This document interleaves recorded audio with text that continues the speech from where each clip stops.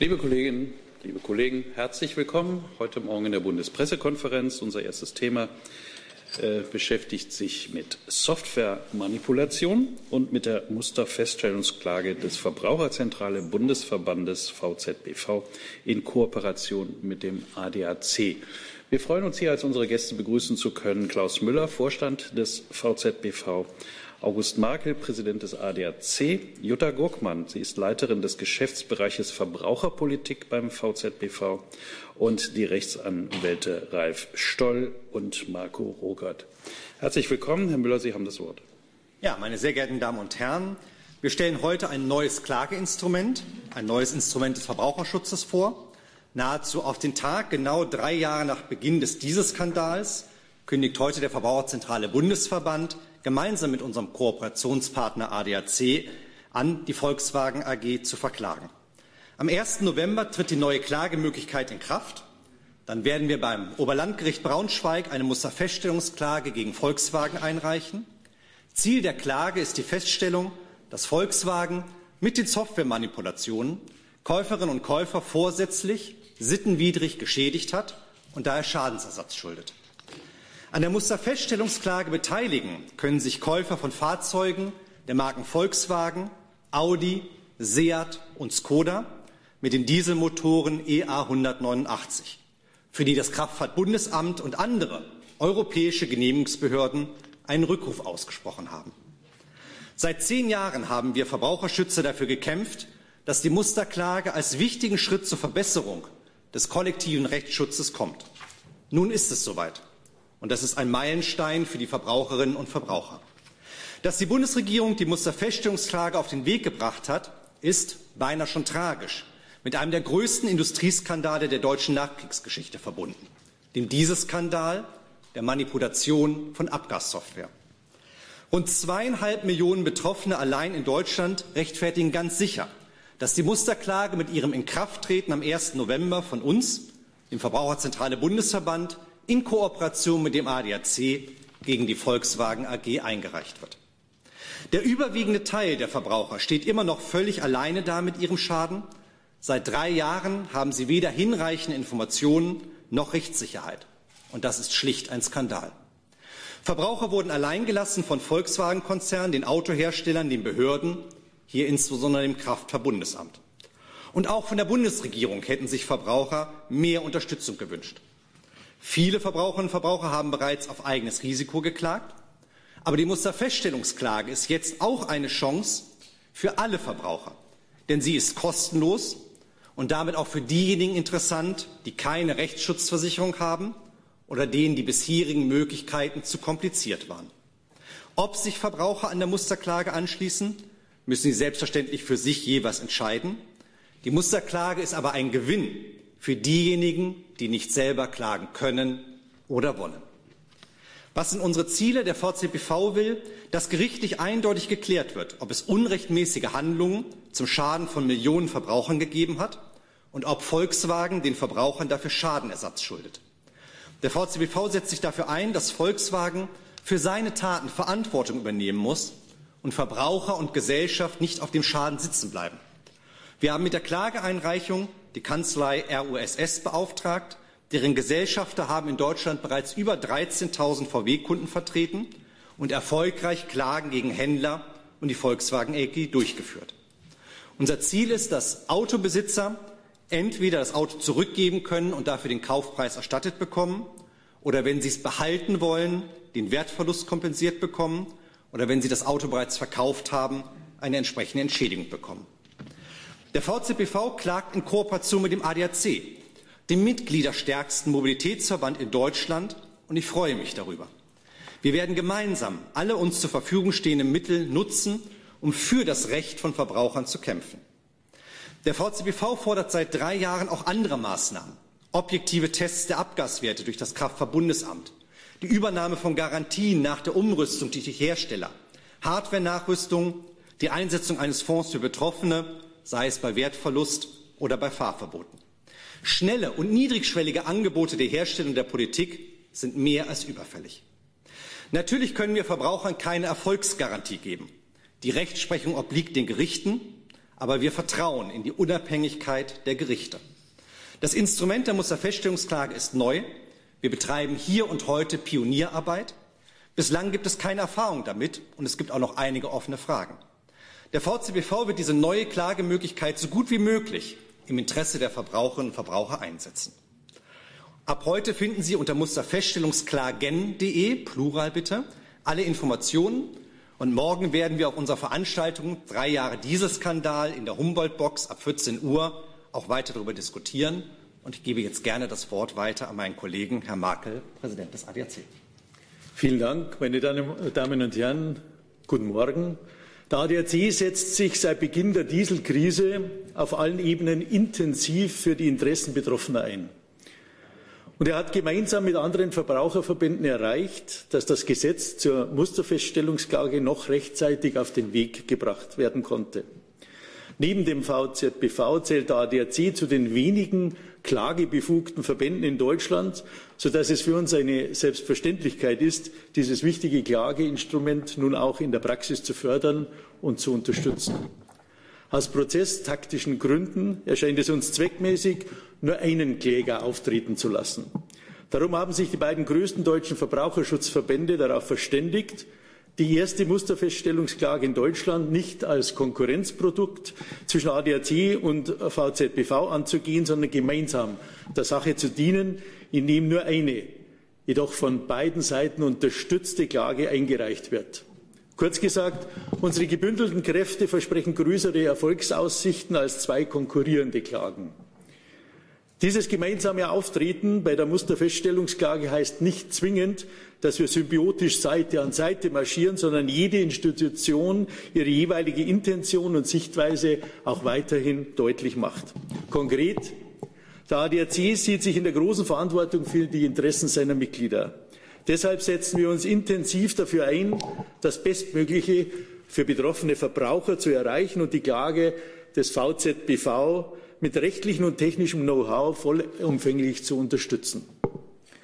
Es darf hier nicht um Eitelkeiten einzelner Verbände gehen, sondern darum, betroffene Verbraucher bei der Eintragung im Klageregister zu beraten, sie mit Informationen zu versorgen und den Prozess in ihrem Sinne erfolgreich und erfolgversprechend zu begleiten. Gegenstand des ersten Verfahrens sind nur betroffene VW, Audi, Seat und Skoda Fahrzeuge, in denen diese EA 189 Motoren verbaut sind. Gerade für diese Fahrzeuge droht mit Ablauf des Jahres 208, 2018 eine Verjährung von Ansprüchen gegen den Herstellern. Bei Fahrzeugen anderer Hersteller besteht dieses Zeitproblem derzeit nicht. Daher gibt es aktuell auch keine konkreten Pläne für ein weiteres Musterfeststellungsverfahren. Bei der Musterfeststellungsklage handelt es sich um rechtliches Neuland. Ein vergleichbares Verfahren gab es bisher nicht in Deutschland. Deshalb sind die Erfolgsaussichten einer solchen Klage schwer einzuschätzen. Die Rechtsprechung hat deutschlandweit in Einzelstreitigkeiten zum Thema Softwaremanipulation sehr unterschiedlich geurteilt. Gerade deshalb ist es so wichtig, hier eine eindeutige Entscheidung zu erreichen. Der ADAC wird sich gemeinsam mit dem VZBV intensiv für einen positiven Ausgang des Verfahrens einsetzen. Bisher hatten Betroffene nur die Möglichkeit, auf eigene Faust zu klagen, mit ungewissem Ausgang und erheblichem Kostenrisiko. Zudem hat die Erfahrung im Prozessalltag gezeigt, dass eine höchstrichterliche Entscheidung von Seiten des Herstellers mit allen Mitteln vermieden werden sollte zeichnete sich bislang eine OLG-Entscheidung zu Ungunsten des Herstellers ab, war ein deutliches Schema zu erkennen. Die Kläger wurden durch ein großzügiges Vergleichsangebot mit Stillschweigeabkommen förmlich aus dem Prozess herausgekauft. Alternativ konnte man sich einer Klageindustrie nach amerikanischem Vorbild anschließen, die mit vermeintlichen Sammelverfahren warb, bisher jedoch ohne sichtbare Erfolge. Kritiker behaupten, die Musterfeststellungsklage ginge nicht weit genug. Diese Kritik ist uns nicht fremd. Natürlich wissen wir, dass diese Klage kein Selbstläufer ist, die am Ende zu einem konkreten Auszahlungsbetrag für den Einzelnen führt. Denn das Urteil stellt nur fest, ob grundsätzlich ein Anspruch auf Schadenersatz besteht. Den konkreten Betrag muss dann jeder Betroffene in einem eigenen Verfahren geltend machen. Dennoch ist ein positives Feststellungsurteil ein riesiger Schritt im Sinne der Verbraucher. Denn die im Urteil getroffenen Feststellungen kann er für seinen eigenen Folgeprozess verwenden und er spart sich damit viel Aufwand, viel Risiko und hohe Prozessgebühren. Zudem besteht auch die Chance, dass Kläger und Beklagte sich am Ende des Prozesses in einem, einem Vergleich einigen. Und hiervon könnten betroffene Verbraucher dann direkt und ohne weiteren Folgeprozess profitieren. Gleichzeitig bringt die Europäische Kommission derzeit ein weitergehendes Gesetz zu Sammelverfahren auf den Weg, das auch die bisher in Deutschland noch nicht vorgesehene zweite Stufe der Klage auf Leistung beinhaltet. Somit können Verbraucher künftig in einem einzigen Verfahren zu ihrem Recht kommen. Wir freuen uns, dem Verbraucher derzeit eine Chance bieten zu können, seine Rechte zu verfolgen und dies ohne eigenes Risiko. Potenziellen Teilnehmern entstehen keine Kosten. Zudem wird durch die Anmeldung beim Klageregister die Verjährung gehemmt, sodass keine wertvolle Zeit verloren geht. In diesem Sinne sehen wir dem 1. November 2018 mit Spannung entgehen, entgegen und freuen uns auf die große Herausforderung, die erste Musterfeststellungsklage in Deutschland für möglichst viele Verbraucher voranbringen zu dürfen. Vielen Dank. Ja, schönen Dank, Herr Markel. Frau Guckmann. Ja, vielen Dank auch von mir. Einen schönen guten Morgen. Mein Name ist Jutta Gurkmann. Ich bin Bereichsleitung Verbraucherpolitik im Verbraucherzentrale Bundesverband und als solche verantwortlich unter anderem für die Rechtsdurchsetzung im VZBV. Die Rechtsdurchsetzung ganz allgemein ist ein unglaublich wichtiger Baustein des Verbraucherschutzes, denn Ihnen bringen die wundervollsten, schönsten Verbraucherschutzregeln gar nichts, wenn Sie sie letztendlich nicht durchsetzen können und sie nur auf dem Papier bestehen. Deswegen haben wir von unseren Klagerechten bislang schon ganz, ganz viel Gebrauch gemacht, haben wir enorme Expertise aufgebaut, insbesondere im Bereich der Abmahnung und, und, und Unterlassungsklageverfahren. Jetzt werden wir ein neues Instrument haben und wir werden es auch gleich anwenden. Am 1. November werden wir die erste Musterfeststellungsklage des VZBV einreichen, drei Monate nach Verabschiedung des Gesetzes bis zum 1. November, das ist mir ganz wichtig zu sagen, wird erstmal nichts passieren. Weder von unserer Seite noch für Verbraucher. Es gibt keinen Grund, jetzt aktiv zu werden. Ähm, erst wenn die Klage eingereicht ist, und das kann sie erst am 1. November werden, ähm, ist der Zeitpunkt auch noch mal hinzuschauen, für Verbraucher hinzuhören, was dann passiert. Ich will Ihnen das kurz skizzieren. Wir werden die Klage einreichen. Das Gericht wird innerhalb weniger Tage voraussichtlich äh, die Klage zustellen. Und das ist auch der Zeitpunkt, in dem die Verjährung gestoppt wird für all diejenigen, die sich dann ins Register eintragen. Aber zunächst prüft das Gericht erste Zulässigkeitskriterien. Insbesondere müssen wir als klageführender Verband zehn Fälle glaubhaft machen. Das ist deswegen so wichtig, um darzulegen, dass es sich nicht um einen Einzelfall und auch nicht um ein theoretisches Problem handelt. Laut Gesetz hat das Gericht für die Prüfung etwa 14 Tage. Wir haben aber überhaupt keine Erfahrungswerte, ob das dann auch tatsächlich die 14 Tage sein werden. Erst wenn das Gericht diese Prüfung abgeschlossen hat, wird das sogenannte Register eröffnet werden. Dieses Register wird beim Bundesamt für Justiz geführt werden und es wird auch für mindestens zwei Monate geöffnet bleiben. Für Betroffene, die sich interessieren, an dieser Klage teilhaben zu können, äh, haben wir eine Internetseite ähm, online gestellt. Sie sollte jetzt online sein in einer Minute www.musterfeststellungsklagen.de. Und weil uns ja bewusst ist, dass es auf den weiteren zeitlichen Ablauf sehr ankommt, wird es dort die Möglichkeit geben, äh, sich einzutragen, die E-Mail-Adresse zu hinterlassen und dann werden Verbraucherinnen und Verbraucher immer, wenn es Neuigkeiten gibt, neue Informationen und insbesondere Handlungsbedarf unmittelbar benachrichtigt werden. Es gibt darüber hinaus eine Telefon-Hotline, die erreichen Sie unter der 030 325 02700. Und wir hoffen, dass wir damit ganz, ganz viele Fragen der Verbraucherinnen und Verbraucher beantworten können. Vorbereitung und auch die Klageerhebung werden eine enorme Herausforderung werden. Sie waren es jetzt schon drei Monate Zeit bis heute ist nicht viel und auch die Zeit bis zum 1. November wird wie im Fluge vergehen. Deswegen hat sich der VZBV tatkräftige Unterstützung ins Haus geholt und hat die RUSS Litigation beauftragt mit der Unterstützung bei den Vorbereitungen, insbesondere als unsere Vertreter vor Gericht. Und die Herren stellen sich jetzt selbst vor. Vielen Dank. Ja, vielen Dank, Frau Gurkmann. Herr Stoll, bitte. Auch von mir einen schönen guten Morgen. Rechtsanwalt Stoll von der Kanzlei Dr. Stoll und Sauer. Wir sind eine auf Massenschäden äh, spezialisierte Rechtsanwaltskanzlei aus dem schönen Schwarzwald, die seit 2010 ausschließlich auf Verbraucherseite tätig ist und ähm, sehr viele große Massenschadenfälle bearbeitet hat. Wir haben im Abgasskandal bisher mehr als 50.000 Geschädigte beraten und äh, führen mehr als 6.000 Klagen ähm, es hat sich gezeigt, dass vor allem sehr viele nicht rechtsschutzversicherte Mandanten das Kostenrisiko scheuen. Und darum bin ich wirklich sehr glücklich darüber, dass es die Musterfeststellungsklage gibt und dass wir dieses Verfahren auch äh, im Namen des äh, VZBV führen dürfen. Ähm, wir werden hier sicher äh, Pionierarbeit äh, leisten müssen. Ähm, es ist juristisches Neuland. Wir haben gegen VW mittlerweile hunderte äh, Gerichtsverfahren gewonnen und sind äußerst zuversichtlich, dass wir auch äh, das, das Verfahren in Braunschweig dann gewinnen werden. Es hat sich in, in den letzten Monaten gezeigt, dass immer mehr Gerichte äh, den Geschädigten Recht äh, geben äh, und vor allem auch Oberlandesgerichte. Da möchte ich insbesondere das Oberlandesgericht Oldenburg hervorheben, was den Klagen gegen VW sehr gute Erfolgsaussichten beimisst. Ähm, von daher denke ich, sind wir hier mit der Musterfeststellungsklage auf einem sehr guten Weg. Ähm, wir werden diese einreichen zum 1. November 2018 und ich denke, VW wird sich vor dieser Klage mit Sicherheit fürchten. Vielen Dank. Herr Rugert, wollten Sie auch noch einiges bemerken dazu? Sehr gerne.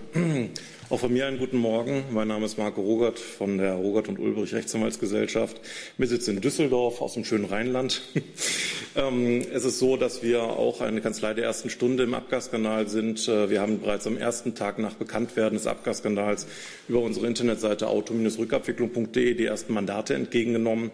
Ähm, wir vertreten derzeit 8000 äh, Verbraucher im Abgasskandal, ähm, haben 6000 Klagen eingereicht und äh, das ebenfalls mit sehr gutem Erfolg. Man kann mit Fug und Recht sagen, dass die beiden Kanzleien und Vertreter hier sitzen, die erfolgreichsten Kanzleien im Abgasskandal sind und äh, freuen uns dementsprechend, dass der VZBV und der ADAC uns hier das Vertrauen erteilt haben, die entsprechende Musterfeststellungsklage zu vertreten. Ähm, die Volkswagen AG und ihr Händlerring hat von Anfang an eine ganz klare Strategie verfolgt und die lautet, wer nicht klagt, kriegt nichts. Ja, und ähm, das ist eine ebenso einfache wie mittlerweile, wie sich herausgestellt hat, auch sehr erfolgreiche Strategie gewesen. Zum größten Bedauern derjenigen, die hier betroffen sind und nicht über eine Rechtsschutzversicherung verfügen. Das führt eben dazu, ähm, dass man eben diese Strategie nur dann ad absurdum führen kann, indem man gewinnt vor Gericht. Das haben wir in vielen Fällen getan. Mittlerweile haben 82 von 115 Landgerichten pro Kläger geurteilt und Volkswagen verurteilt aus Delikt. Aus Delikt heißt unerlaubte Handlung. Das heißt also aus Betrug oder aus vorsätzlich sittenwidriger Schädigung oder wegen des unerlaubten Inverkehrbringens von Kraftfahrzeugen in den europäischen Markt. All diese Punkte sind wesentlich. Unsere Kanzlei war diejenige, die im Jahr 2017, im Januar, äh, die erste erfolgreiche Klage geführt hat. Ähm, in Hildesheim, ausgerechnet im Mutterland des Volkswagen-Konzerns, in Hildesheim war es dort. Und ähm, wir freuen uns damit, den Weg bereitet zu haben, zum einen für erfolgreiche Individualklagen und zum anderen auch für diese Musterfeststellungsklage. Auch wir halten es eben für einen Meilenstein, ähm, dass hier also ein erster Schritt in die richtige Richtung gemacht wird. Und ähm, wir hoffen, dass die 99 Prozent Betroffener, die sich bis heute nicht dazu entschließen konnten, eine Klage zu erheben. Das finde ich eine unglaubliche Zahl, dass diese 99 Prozent sich nunmehr überlegen, ob sie sich nicht eben dieser Musterfeststellungsklage als neuem rechtlichen Instrument anschließen, um auf diese Art und Weise nicht der Dumme zu sein am Ende.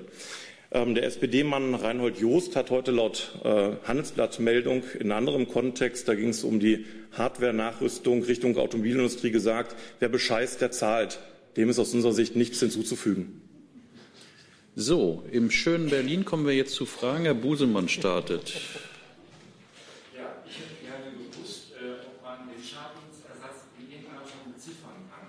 Also, wenn ein Wagen neu 10.000 Euro gekostet hat und dann wird festgestellt, dass man manipuliert, wie viel weniger es dann wäre, also dass man eine Angabe machen kann, was für einen Umfang dieser Schadensersatz hat. Und dann habe ich eine zweite Frage. Ich wüsste gerne, ähm, welches Ziel die Musterfeststellungsklage hat. Ist das wirklich nur eine Schadensfeststellung oder ist auch ein Vergleich denkbar, der dann übertragen wird auf diejenigen, die sich in das Lagerregister eingetragen haben?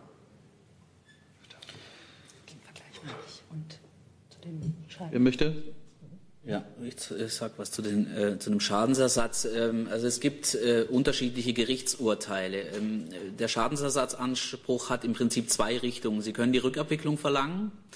Äh, es muss geklärt werden, ob dann der Kaufpreis äh, zurückbezahlt wird in voller Höhe oder in, äh, in Höhe Kaufpreis abzüglich einer Nutzungsentschädigung.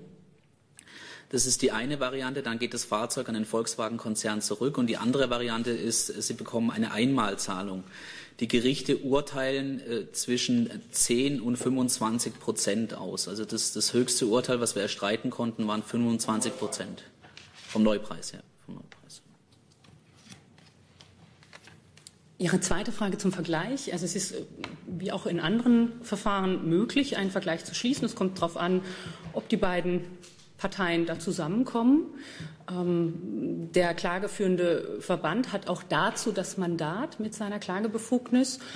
Und die Verbraucherinnen und Verbraucher, die dann im Register stehen, haben aber die Möglichkeit, äh, diesem Vergleich zuzustimmen oder den Vergleich abzulehnen.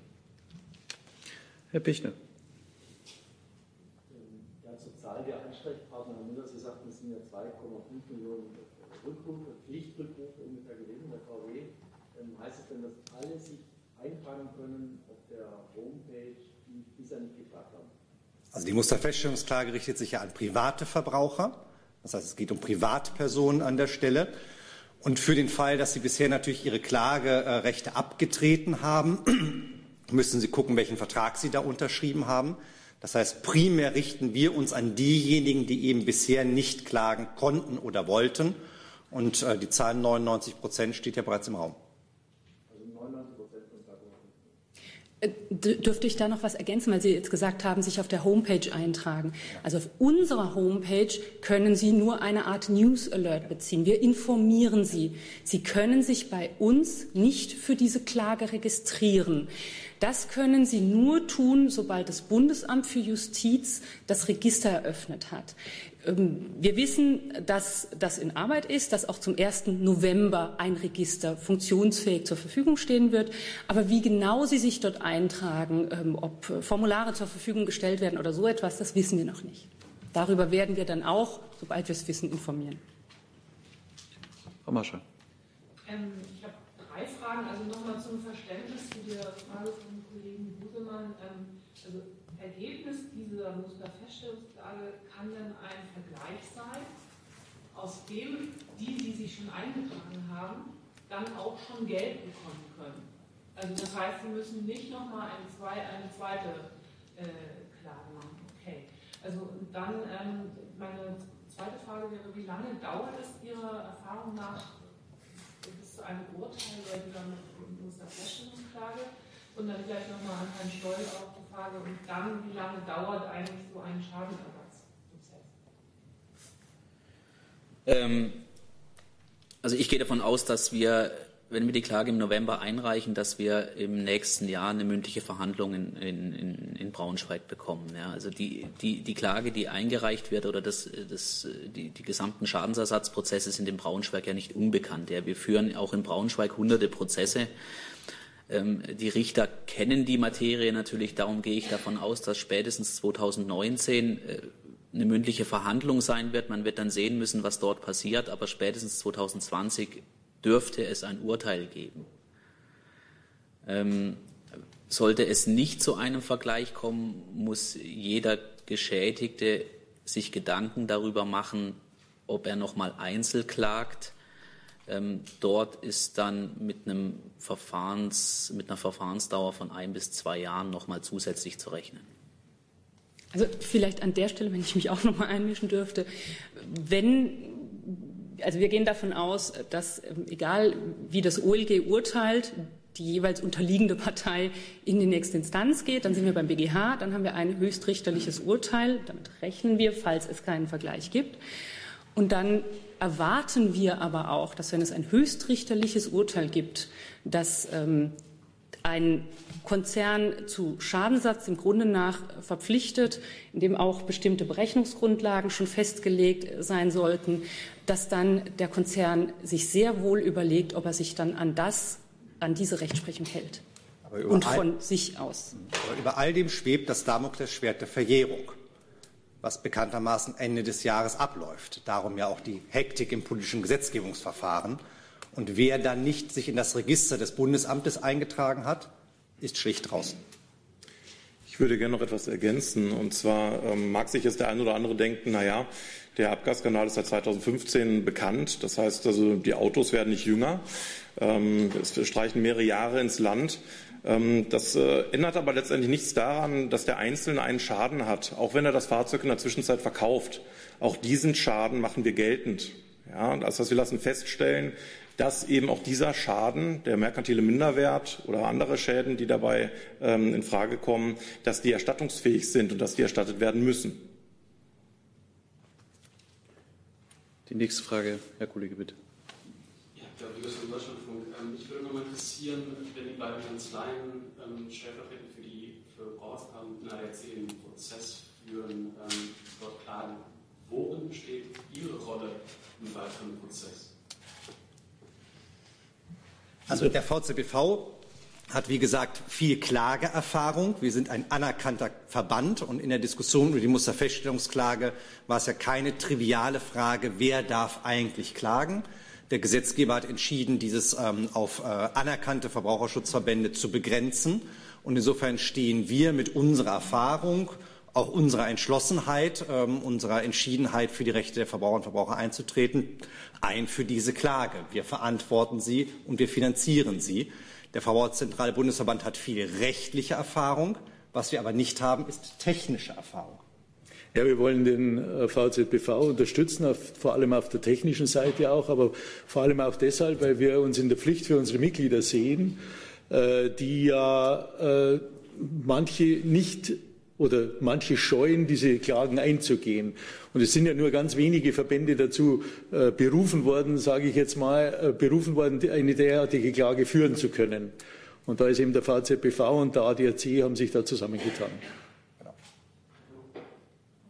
Ja, Zusatz.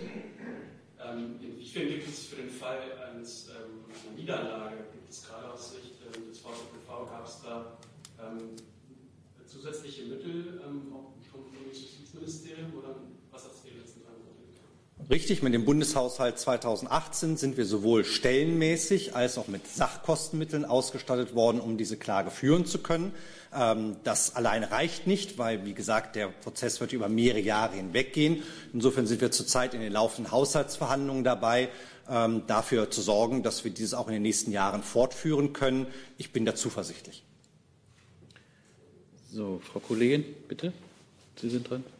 Ähm, zwei Fragen. Zum einen ähm, sollte sich die EU-Kommission zur Sammelklage durchbringen, wäre eine Musterfeststellungsklage obsolet. Und ähm, die zweite Frage, ähm, VW, also das, was Sie ja irgendwie angesprochen haben, Herr Makel, mit diesem ähm, Vergleichsangebot, das VW sich versucht da irgendwie rauszukaufen. Durch die Musterfeststellungsklage wird das aber nicht, also wird das ja nicht obsolet, oder?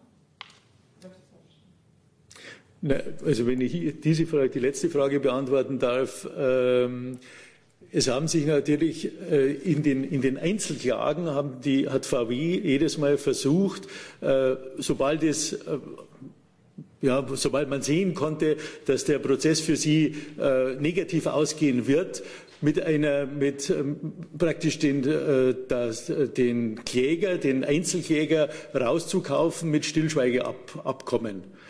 Das wird in der Musterfeststellungsklage natürlich nicht gehen. Genau. Und die andere Frage müsste vielleicht einer der Rechtsanwaltskollegen. Ja, sofort, also erstens, Herr Marke, damit absolut recht. Unser Ziel ist eine höchstrichterliche BGH-Rechtsprechung, die tatsächlich dann auch für alle gilt. Und das Zweite ist, ähm, der New Deal for Consumers äh, der EU-Kommission sieht eine Leistungsklage vor.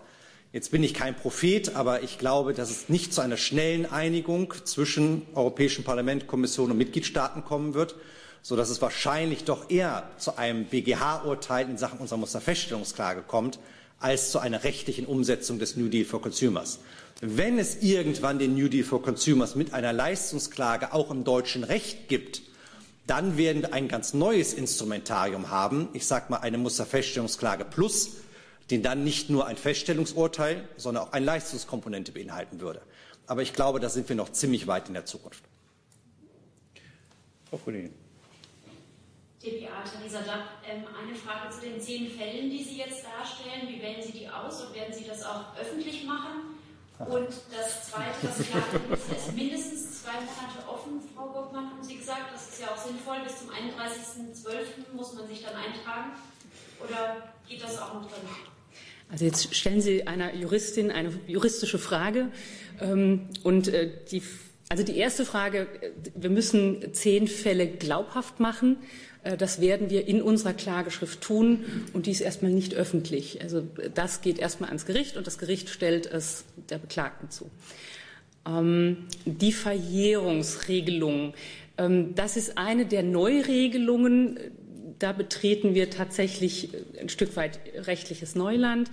Die Regelung ist so gefasst und wir verstehen sie so, dass mit der Erhebung der Klage, also Zustellung bei der Beklagten, die Verjährung gehemmt wird. Aber es gibt nicht nur diese Voraussetzung, die Erhebung der Klage für die Hemmung, sondern es müssen sich dann eben auch noch individuell die Verbraucher in dieses Register eintragen. Und wir gehen davon aus, dass dies auch noch nach dem 31.12. passieren kann, weil die Eintragung rückwirkt quasi auf den Zeitpunkt der Erhebung der Klage und sie somit dann auch noch sicher sind. Das ist aber sicherlich auch eine der Fragen, die wir noch klären müssen. Deswegen werden wir auch da zu gegebener Zeit noch informieren, bis wann genau Sie sich eintragen müssen. Der Volkswirt antwortet darauf, wenn Sie auf der sicheren Seite sein wollen, tragen Sie sich vor dem 31.12. ein. Herr Kollege. Also ich habe zunächst äh, Carsten Seiten von der Welt.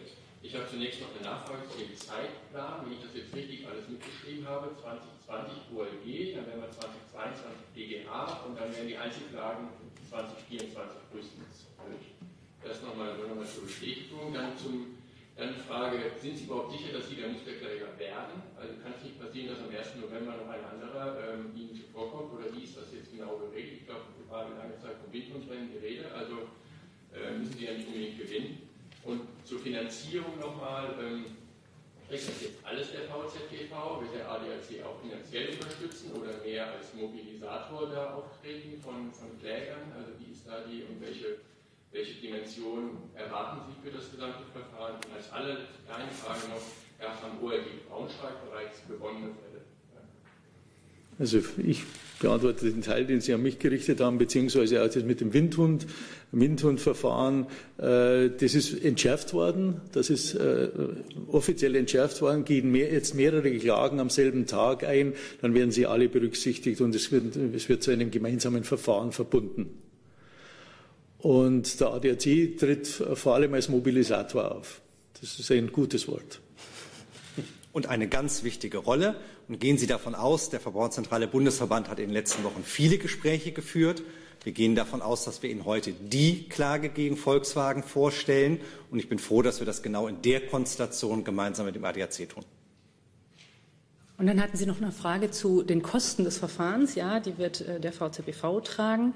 Ähm, es gibt aber eine Streitwertbegrenzung, deswegen wird das nicht exorbitant teuer, je mehr sich Verbraucher eintragen. Davon wird es nicht abhängen. Und Sie hatten, wenn ich kurz das Wort ergreifen darf, zur Dimension äh, eine Frage gestellt. Die Dimension ist ähm, natürlich schwer abzuschätzen, aber äh, wenn man sich eben das Potenzial der Anzahl der, der potenziellen ähm, äh, Registrierungs, ja, oder Registrierenden, so kann man es am besten, glaube ich, formulieren, ähm, äh, sich überlegt, dann kann es tatsächlich eben ein riesiges Massenverfahren sein. Es kann aber eben auch sein, dass das Interesse nicht so hoch ist. Das weiß man vorher nicht. In jedem Fall ist es aber so, dass wir in unserer täglichen Praxis merken, dass das Interesse gigantisch ist. Jeder, der bei uns anruft, bei uns in der Kanzlei Robert und Ulrich in Düsseldorf und anruft und fragt, ähm, ich bin nicht rechtsschutzversichert, ich habe ein relativ hohes ähm, ähm, Kostenrisiko, was kann ich denn machen? Und man erwähnt nur das Wort Musterfeststellungsklage, da fragt man immer sofort, ja, wo kann ich mich denn anmelden? Also das Interesse scheint wirklich riesig zu sein und insofern gehe ich schon davon aus, dass es also mindestens mehrere tausend äh, Anmelder geben wird, vielleicht gibt es auch viel mehr. Bitte. Kurze Nachfrage, die Dimension des, der Finanzierung hätte mich interessiert. Bitte, was das auswendig? Oh, auswendig weiß ich es nicht. Bei 250.000 äh, Streitwertbegrenzung, ich glaube, wir hatten für die erste Instanz ähm, 6.000 Euro. um die 6.000, 7.000 Euro Gerichtskostenvorschuss. Ähm, also rechnen Sie über. Sie können davon ausgehen, äh, eigene Anwaltskosten ungefähr 7.000 Euro. Genau. Ähm, Gerichtskosten würde ich jetzt mal schätzen, vielleicht 3.000 Euro. Ähm, und, und, dann, wenn man unterliegt, halt die gegnerischen Anwaltskosten. Ja. Und natürlich kommen bei uns noch die Personalkosten dazu. Wir bauen ein Team für Musterfeststellungsklagen auf, wie es der Bundeshaushalt vorgesehen hat und uns ermöglicht. Und natürlich die Informationskosten. Wir rechnen damit, äh, dass die Hotline, äh, die wir aufgebaut haben, rege genutzt wird. Wenn wir es im Verfahren laufend finanzieren, das kommt alles noch mit dazu. Und jetzt auch eine Frage noch, OLG Braunschweig, gab es schon mal einen Gibt es bisher, was mir bekannt ist, keinerlei Entscheidung. Weder positive noch negative. Busemann. Ja, ich ähm, wollte nochmal nachfragen, ob äh, diese Standsersatzforderungen auch geltend gemacht werden können, wenn man den Wagen verschrotten hat lassen, also nicht nur verkaufen, sondern einfach unwiederbringen weg ist. Und ich wollte auch wissen, ob der BGH wirklich das Ende der Fahnenstange ist oder ob es noch vor dem EuGH weitergehen kann.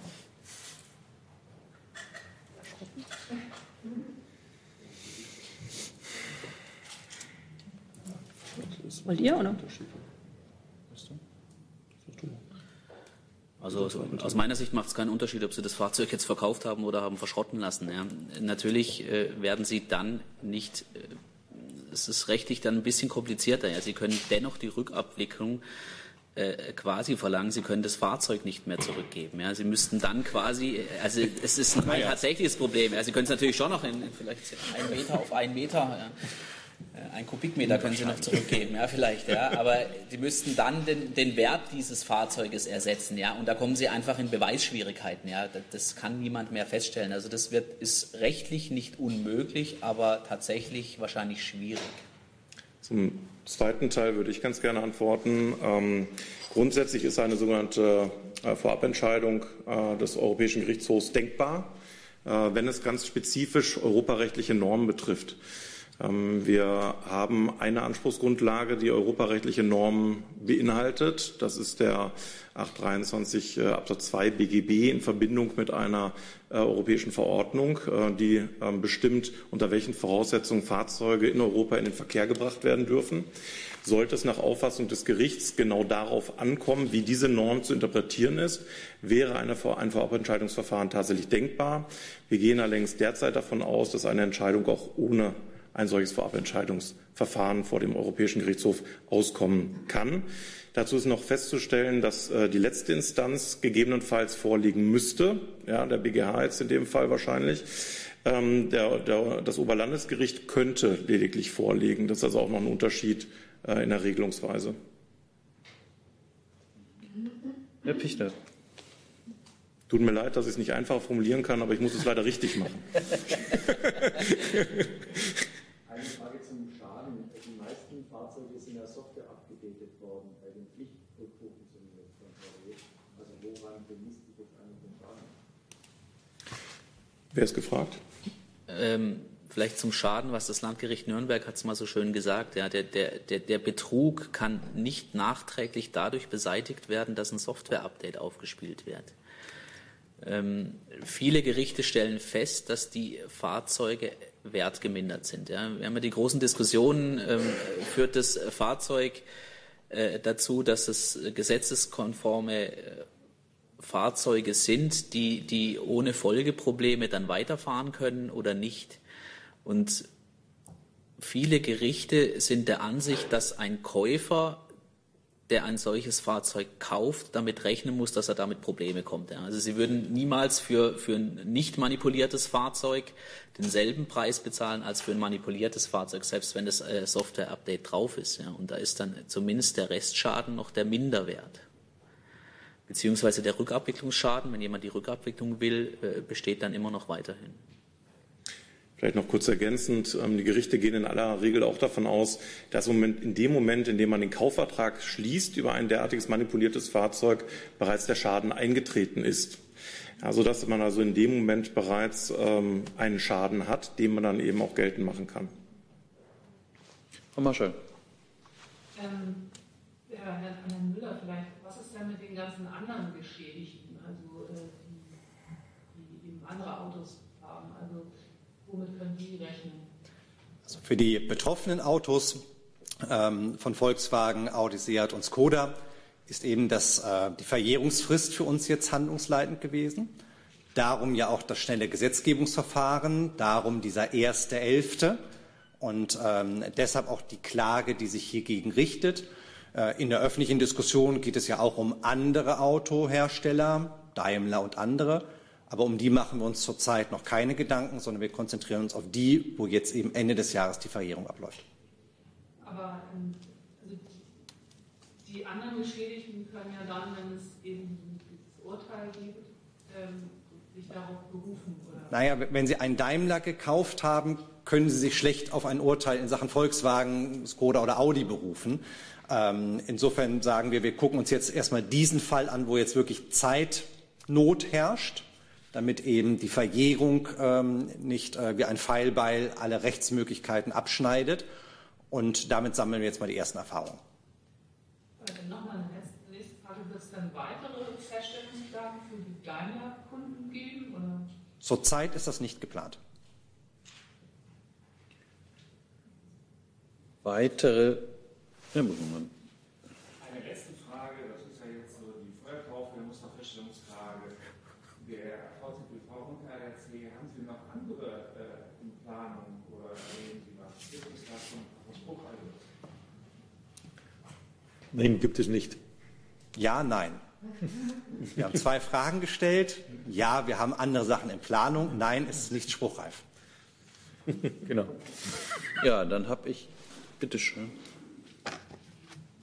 Jetzt. Zu Susanne Land, der Deutschen Verkehrszeitung. Ähm, wenn ich es richtig verstanden habe, sagten Sie vorhin, dass wir als Private sich an der Musterfeststellungsklage beteiligen können. Ähm, wie sieht es denn aus mit zum Beispiel den Kleinunternehmern, Handwerkern? Das sind ja auch oft Einzelpersonen, kleinere Transportunternehmen. Das eine. Und das zweite nochmal zu dem Hemmnis der, der Verjährung. Ähm, wenn das gehemmt wird, wie weit reicht es denn zeitlich? Also das Gesetz ist eben ausdrücklich nur für Verbraucher gedacht, im Musterfeststellungsklagengesetz. Ähm, es gibt aber eine Regelung, die vorsieht, dass äh, Unternehmer, die bereits klagen oder rechtzeitig noch Klage erheben, ähm, auf Antrag ihre Klagen aussetzen lassen können und auch dieses, den Ausgang dieses Verfahrens abwarten können. Diese Möglichkeit gibt es. Ähm, allerdings können sie nicht von der Verjährungshemmung profitieren, weil sie sich nicht eintragen können. Ähm, und sie äh, können auch nicht äh, von der strikten Bindung ähm, Bindungswirkung dieses Urteils profitieren, inwiefern es eine faktische Bindungswirkung möglicherweise gibt, weil der BGH eben über bestimmte Grundsätze ja entscheidet. Ähm, das kann ich äh, an der Stelle eben auch noch nicht sagen. Und Sie hatten noch die Frage zur Hemmung. Also wenn die Verjährung einmal gehemmt ist, dann läuft sie auf jeden Fall für jeden, der sich richtigerweise in das Register eingetragen hat, auf jeden Fall bis zum Ende des Verfahrens. Und dann gibt es noch eine sogenannte Ablaufhemmung, die ist, meine ich, sechs Monate. Und wenn Sie die politische Diskussion nochmal nachverfolgen, es gab ja durchaus auch Vorschläge im politischen Raum, diese Musterfeststellungsklage auch auf gewerbliche äh, Betroffene zu erweitern. Das wurde vom Deutschen Bundestag so nicht beschlossen. Ich will aber noch mal deutlich sagen, wir hätten uns darüber gefreut, ähm, wenn das der Fall gewesen wäre. Insofern warten wir dann die Diskussion über den New Deal for Consumers ab und werden sehen, was dann dort entschieden wird. Weitere Fragen haben wir heute nicht mehr. Ich habe aber das starke Gefühl, es würde sich lohnen, wenn wir uns in dieser oder ähnlicher Materie noch mal wiedersehen hier. Ich glaube, das passiert. Okay, die Einladung steht. Vielen Dank für heute.